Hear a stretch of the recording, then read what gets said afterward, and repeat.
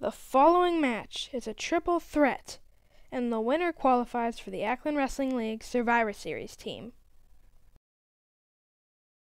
The first contestant in this match, Karrion Kross, is making his way to the ring.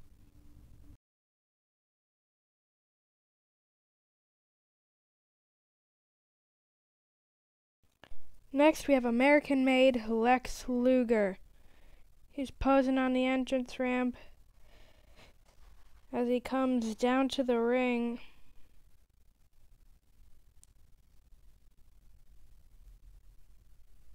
And now, Goldberg.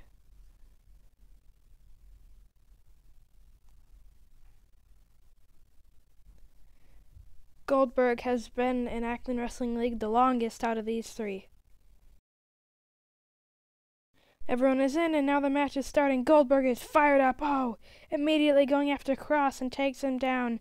But he should turn around, because there's Lex with the forearm. Cover. One, two. Kick out by Goldberg. And then Kross. Has the Kross Jacket locked in. But then wait! Lex Luger looking for a double torture rack! Oh no, Goldberg gets out of it. Spear!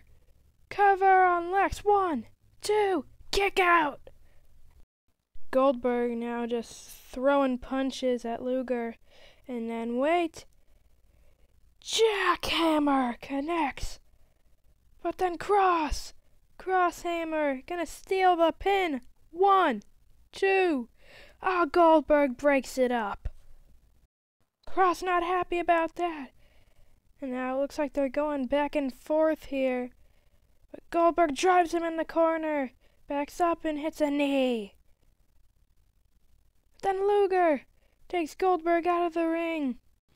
Luger sees it coming, then boot, and a couple more to follow it up. Luger grabs him, but Kross, with the reversal, lifts him up. And then a final prayer connects. One, two. Goldberg dragging Luger out of the ring. And then wait. Oh, he throws him right into the post. And then Goldberg dragging out Kross and then wait, slingshotting him right into the rope. What the no? Luger just smashed his head with the chair. Kross avoided it. And then Luger sliding into the ring, but Kross grabs the chair. Oh, wait! He avoided it! Ow! He hit himself! Luger lifts him up for the torture rack. Is Kross gonna tap? Oh! He's tapping! But then Goldberg with the spear! One, two, three. Before Kross could tap, Goldberg speared him and qualified.